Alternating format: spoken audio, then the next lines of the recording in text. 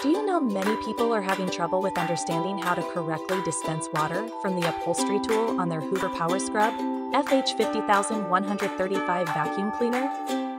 Don't worry. In this video, we'll show you how you do this. Let's start. Step 1. Connect hose and tube. First, connect the hose and solution tube to the Hoover Power Scrub FH50135 vacuum cleaner properly. Step 2. Fill water tank. Next, ensure the clean water tank and the solution container are filled with the correct cleaning solution. Step 3. Attach upholstery tool. Safely attach the upholstery tool to the end of the hose. Step 4. Start cleaning process. Start the cleaner, press the upholstery tool lightly on the fabric, and dispense the solution by pressing the trigger. Step 5. Perform overlapping strokes.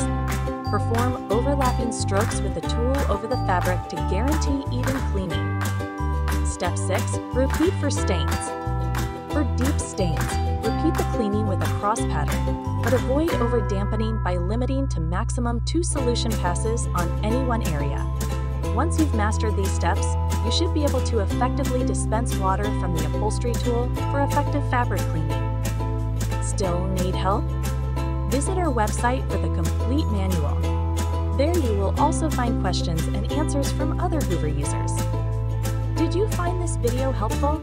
By subscribing, you help us continue to answer users' questions. So, subscribe to our channel. Thanks for watching, and see you in the next video.